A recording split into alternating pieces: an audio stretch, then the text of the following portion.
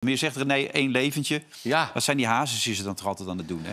Want hij, heeft, hij gaat het Die niet maken doen, het elkaar heel erg moeilijk, nou, Reus. En ik heb, daar, ik heb daar totaal geen begrip voor, weet je. Ik bedoel, ik heb, eh, ik heb ze meegemaakt, een jaartje of vier. Toen waren die kindjes nog klein. Ja. En ik moet heel eerlijk zeggen dat die moeder echt dol op die kleintjes was. En André, die, ja, die, die had, André was heel erg stemmig. Hè? Dus de ene keer kon hij die kleintjes heel erg graag bij hem. De andere keer had hij liever dat ze in het zwembad gedonderd werden, weet je wel. Maar dat, Ja. dat was zijn de stemmingen, wisselingen en allerlei dingen. Kon hij ook niks aan doen. André worstelde vreselijk met het leven. Vond ik ook wel zielig. Ik Ja. had echt medelijden met hem. Hè? Echt gewoon, weet je, altijd gewoon trillen. Gewoon zo nerveus. Altijd nerveus, weet je wel. Vond ik echt zielig. Maar wat die mensen met elkaar doen, dat, dat is zinloos. Ja. Volstrekt Ja, zinloos. maar ik vind het zo in strijd met het moederinstinct dat je je kinderen dwars zit, maar ook financieel dwars zit. Ja. Dan is er iets mis met je.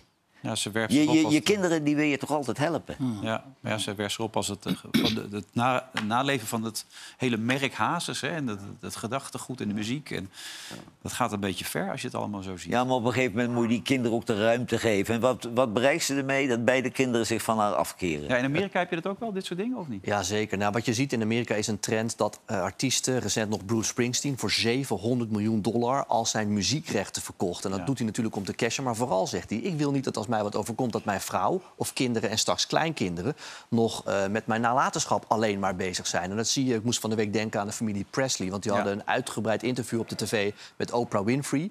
Ja, die was bij Graceland. Heel mooi. Ik ben ook een paar keer bij Graceland geweest. Maar die familie, die kleinkinderen zelfs, zijn nog steeds met zijn nalatenschap bezig. En er is ruzie in de tent, meerdere drugsverslavingen, zelfmoord. Het zorgt alleen maar voor ellende als je alleen maar in je leven bezig bent, zoals zij nu met ja, de, de nalatenschap van Maar die ja, we, we hadden ons toch.